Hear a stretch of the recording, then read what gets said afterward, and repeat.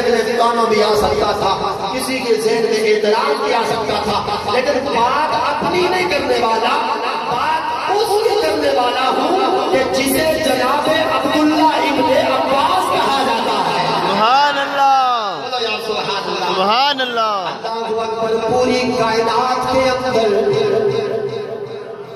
तफसीर कुरान की तो लोग करते रहे।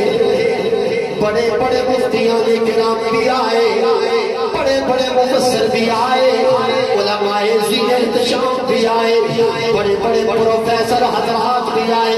आने का कुरान की तफसीर करता रहा, लेकिन मैं उस मुफसर की बात करने लगा हूँ कि जो आम मुफसर नहीं है, बल्कि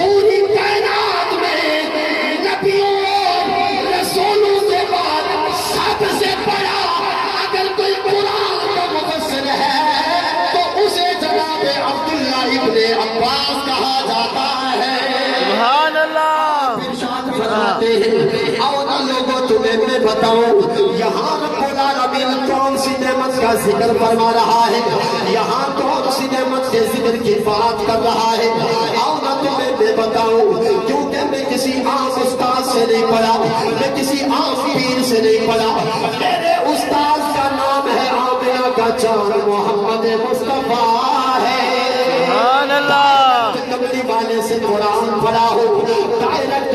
यार से कुरान पढ़ा हो। आना तुझे मैं बताऊँ, यहाँ नेमत से मुराद क्या है? फरमाया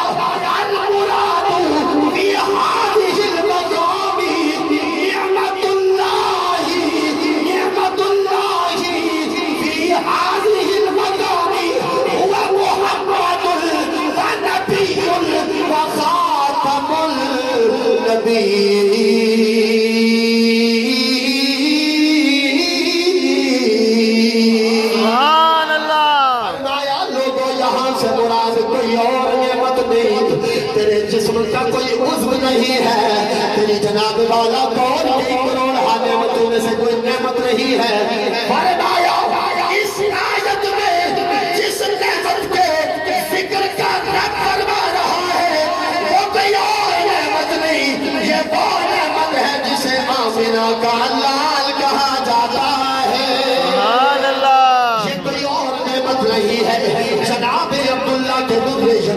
वो नेमत है अब रब्बुल आलमीन ने फरमाया, उस नबी का ज़िक्र करो माले कहा आलम तखयलात में सवाल पैदा हो सकता है। मालिक मौला हर चीज़ की कोई ना कोई वजह होती है, कोई ना कोई रीजन होता है, कोई ना कोई लॉजिक होता है। मालिका हमने मस्जिद बनाई, इसकी कोई वजह थी। हम मकान बनाते हैं, इसका कोई रीजन होता है।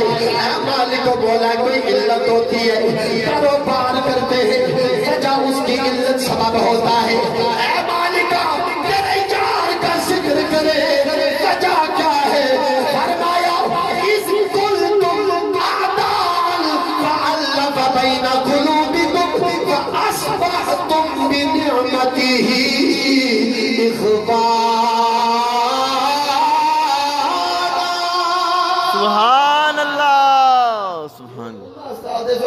रहे हो ज़ोर दे सुभान अल्लाह सुभान अल्लाह को सारे सुभान अल्लाह बोलो सुभान अल्लाह सुभान अल्लाह चलो वो जना सही वैसे तो बोलो सुभान अल्लाह सुभान अल्लाह सलाम किया सुभान अल्लाह अल्लाह फरमाया।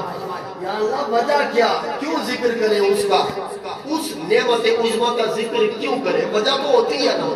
रब्बुल आलमीन ने फरमाया मेरा कुरान पढ़। बस अब तकरीर शुरू होने वाली है। तर्जमा तो कर लो। सुभान शुरू कर दिया। समझो ऐ मालिका तेरी नेमत के ज़िक्र करने का मतलब क्या है? या अल्लाह क्यों ज़िक्र करे? फरमाया याद करो इस कुल तुम तुम याद करो तुम के जब तुम आपस में दुश्मन थे। अल्लाह। इस कुल तुम आदान चचा भतीजे को नहीं जानता।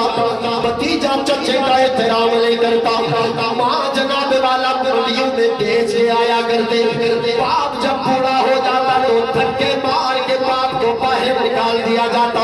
फरमाया तुम दुश्मन थे। फरमाया किसी की इज़्ज़त नहीं करते थे।